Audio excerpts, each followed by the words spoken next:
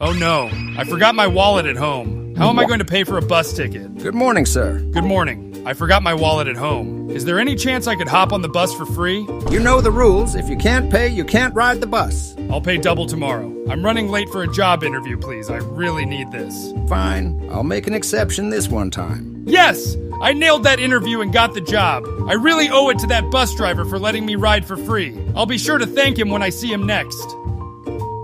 Good morning, sir. Good morning. Where's the usual bus driver? He got laid off. He won't be driving this bus anymore. Oh, I never got to thank him properly. Wow, what a busy day at work. Wait a second, is that the old bus driver? Does anyone have any food, please? Aren't you the old bus driver? What happened? Yeah, that was me. Who are you? Sir, you let me ride the bus for free a few weeks ago. Lucky for you. I lost my job out of nowhere. Now I'm homeless. Don't worry, sir. Because of your kind act, I got the job. And now I